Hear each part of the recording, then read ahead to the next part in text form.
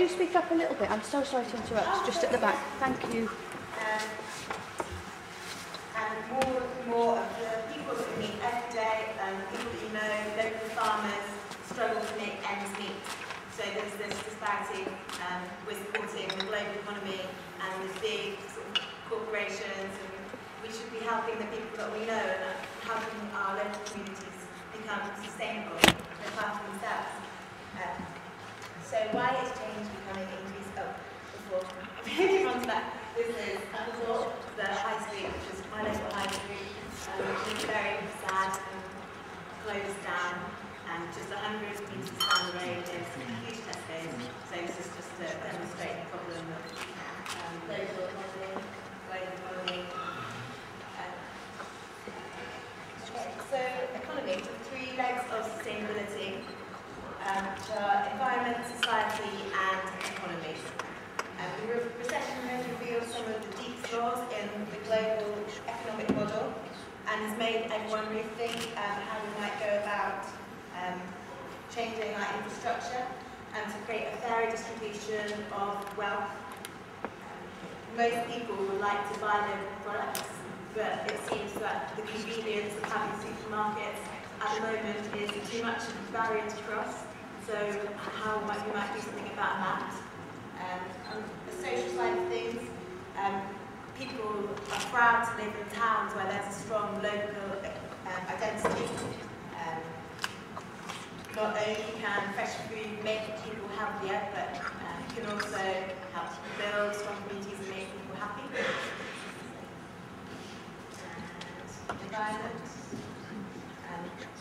So the food industry, which is led by these two big fail industries and companies, relies on cheap but dwindling fossil fuels.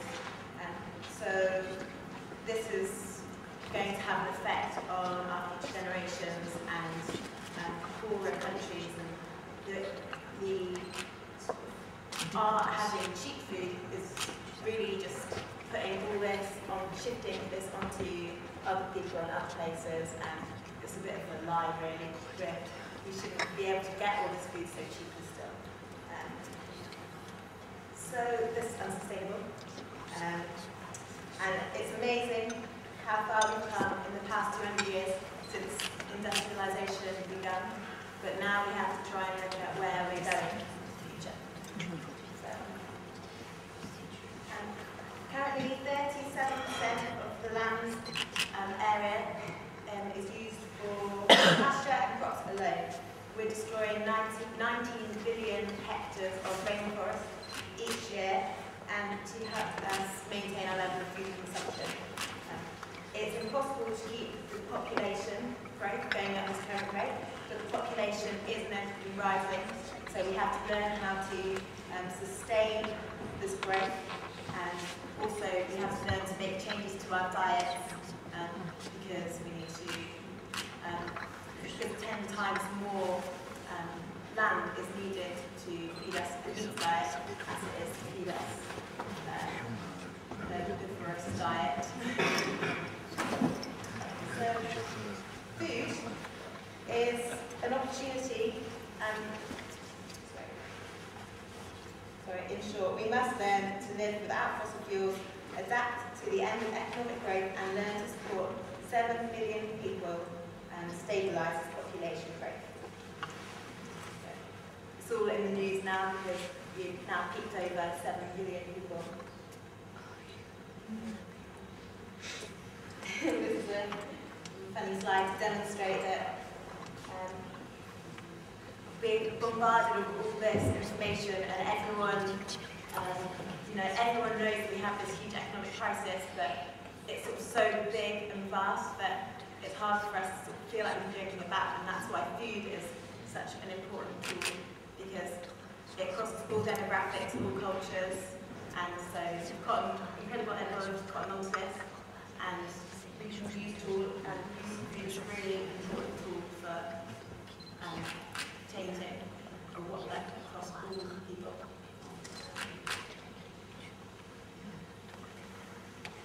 So, asking, but yeah, this is Incredible Edible and now it says if you eat your in, which a few people have mentioned this morning as being a really good quote that sums up why food is um, is important.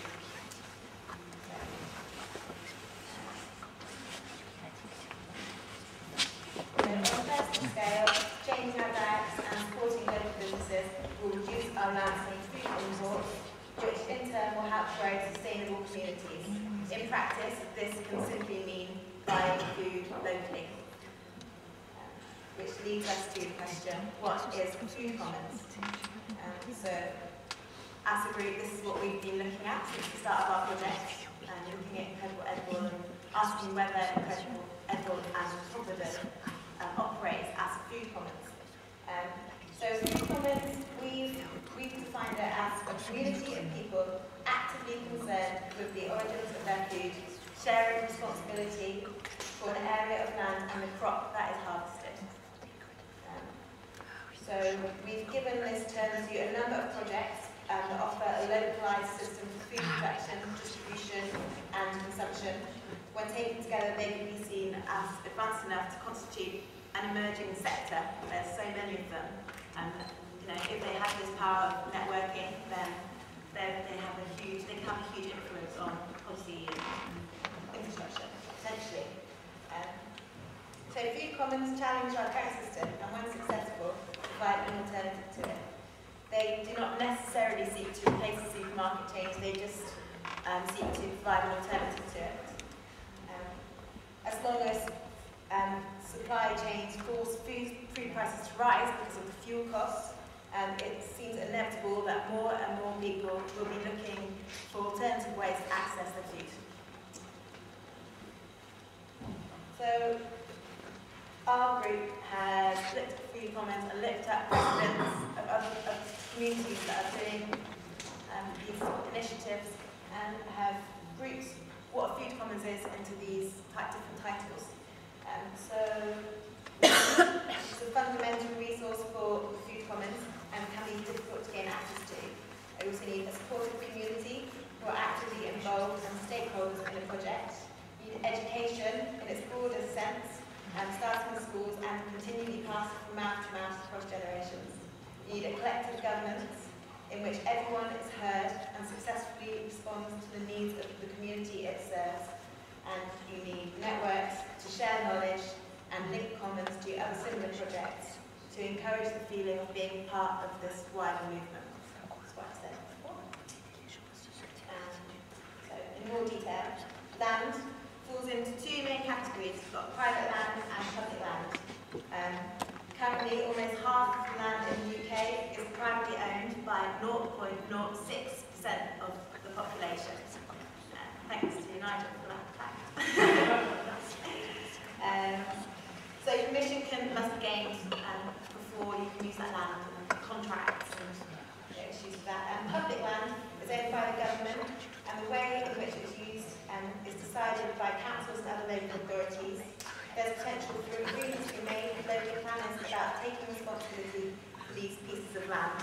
And, and what Pam mentioned yesterday is she doesn't understand why we can't have land set aside by um, uh, by the planning department, so land banks, um, where community resources as spaces set aside for recreation and or sport, why not for food? Uh, which is a good question. Um, it's a shame that no planners are here today to answer the question. Um, so local authorities vary from borough to borough, but um, there's new legislation um, being next year being brought in with the localism and the society, and maybe this is the chance for things to change. Um, you're an optimist. So community, the active support of individuals within a community is vital for a project to achieve its aims. So participation determines whether a project becomes established, and how well it adapts to changing needs of the community it serves. Uh, so prior to enclosure, the enclosure movement, which I'll talk more about briefly in a minute, um, communities take, took responsibility um, for maintaining and protecting plots of land. They did so with strict rules um, that ensured the land would be protected and strengthened. Um, education. And let's quote, there are very few groups today who can still provide directly with their land and their work for their own needs.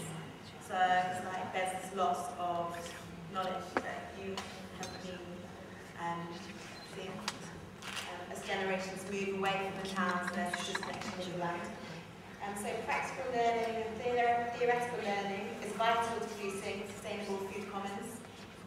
Um, and I think it was um, Nick that I saw you in the video in, um, in the polytunnel with one of the guys a couple of weeks ago. And you said that there's a stigma become attached to um, learning practical trades such as farming and gardening that does not reflect the fact that food production is essential to our survival.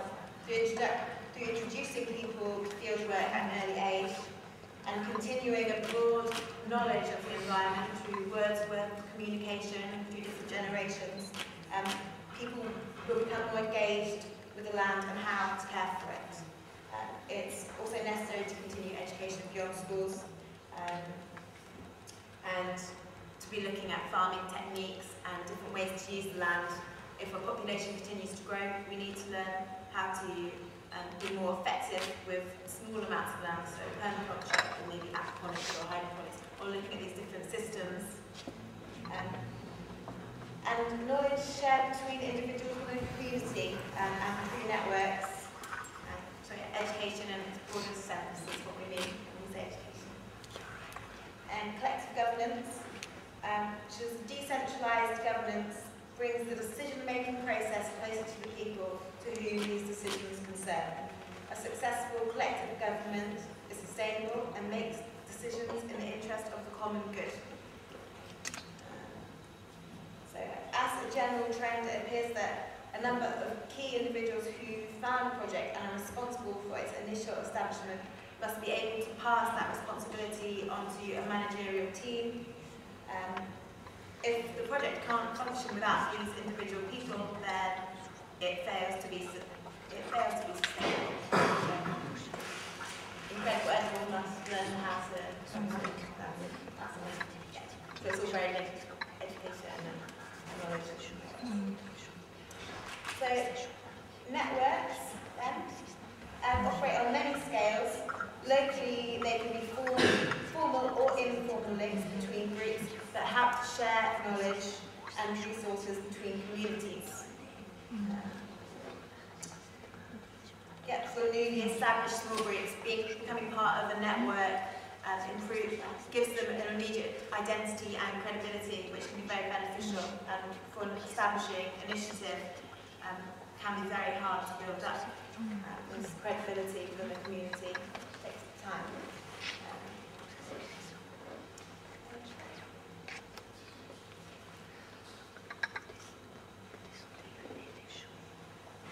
I being loud enough at the back? Great.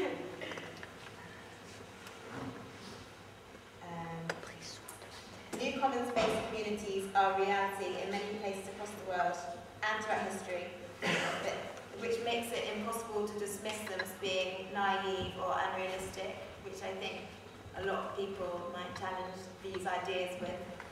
Um, but whether they can seriously indicate the beginning of a new trend or infra infrastructure is a question that um, we should ask. Um, so will future production increasingly take place around jointly organised and jointly managed commons rather than the, around the exchange of private property on the market? Um, so why should we be doing this now?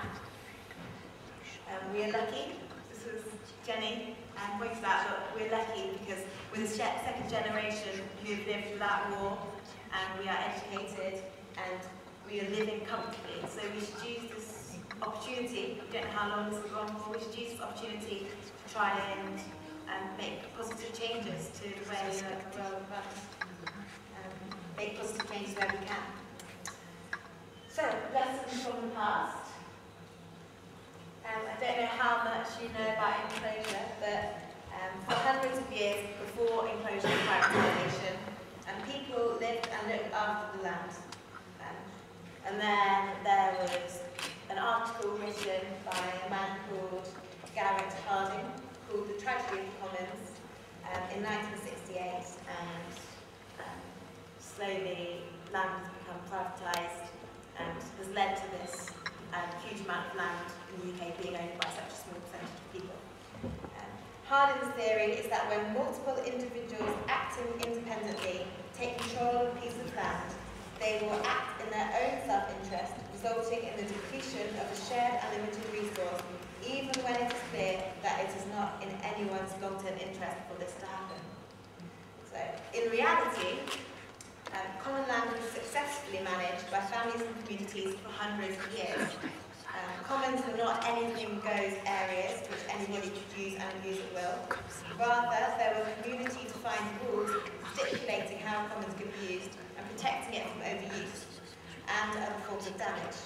Uh, however, Harding's theory, which he later admitted was incorrect, um, is frequently cited to support arguments of single development and the tragedy of the commons, document is used as a warning against the adoption of policies which restrict private land. So this article that was written, which was basically saying that, um, that land couldn't be managed by the commons and that it would lead to um, the degradation of the land, was wrong. And he admitted it was, it was flawed, um, but still it's cited, cited by a lot of people um, to have further this privatisation. So these arguments on both sides. I'm just sort of presenting one of them. So it may be possible that in the future our use of land will return to this kind of widespread common use, relying on modern technology, automatic processes and the environment. So David Cameron and his big society. Um, together, local food projects comprise a rapidly growing sector that warrants support at regional, national and European levels. Um, food is now on the agenda of many different professionals and members of communities, including those who have not traditionally seen food as addressing social inequalities, health or environmental issues. Creating a new food system will require a new and different kind of infrastructure um, on local, regional and national levels. Okay, so the government plans to create a big society might be, could be a significant step in the right direction. And the proposed localism bill, which is a key part of the big society, um, aims to um, pass the power from the central government down to local authorities and community organisations. So hopefully group communities such as Incredible Edible or other similar groups will have more power in deciding um, how the land is used um, in the future. So, among many clauses. Clause 96 is provision for neighbourhood development orders to allow communities to approve development without requiring normal planning consent. So, you know, maybe very, very relevant to appropriating land and taking ownership of the land in the future. Uh, finding the right plot. So a national framework that encourages bottom-up governance at local authority level, in addition to a bottom-up grassroots network, um, should, if successful, lead to um, giving individual voices a lot of power, a lot more power than they currently have. Um, if successful, a lot of groups, such as the local Edible Todmorden, may find that bureaucratic difficulties that they currently face largely dissipated, gotten rid of. And just a matter of modernisation, commitment and patience. Obviously, this is very optimistic, but, um, food commons, as we have defined them, are a growing sector that some say are part of um, an inevitable revolution stretching beyond food production um, will affect how our authorities are governed and our resources managed and generally altering the way we live. This is just sort of two minutes on Google looking at local food production, but that's hundreds, thousands of um, organisations. Um, okay. So coming to the end, ultimately we must try and plan the transition towards a fossil fuel-free future. However, it's possible that by considering our cultural values and simply where we want to spend our money at the local market, at the local supermarket, we might start solving some of the small problems which are wider global issues. Um, I've posed a lot of questions in the past 15 minutes and I hope they've sparked some thoughts um, to part, the next part of the workshop. Um, the future is not some place we're going to, but one we are creating. The paths are not found, but made, and the activity of making them changes both the maker and the destination. So, ending to the